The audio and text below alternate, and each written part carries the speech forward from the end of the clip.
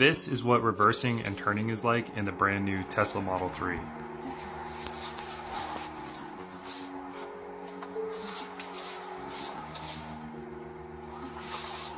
This is the car of the future right here.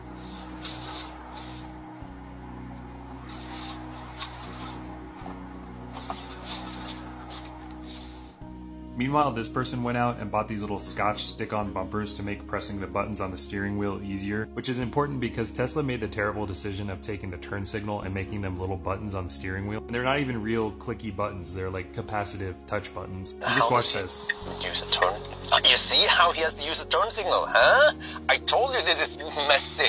so if you didn't catch that, while he's turning, he has to reach up with his other hand and find the button for the turn signal and press it. In every other car ever, you access the turn signal on a stalk that's in a fixed position, so it will always be pretty much where your left hand is. So both of the things that I showed in this video are perfect examples of how Tesla cuts corners in the name of minimalism, but in reality, they're just extreme cost-cutting measures that make the experience of driving the car worse and less safe. You shouldn't have to be doing little iPad swipe gestures when you need to change gears quickly, and you definitely shouldn't have to be hunting for a little touch button to turn signal when you need it most.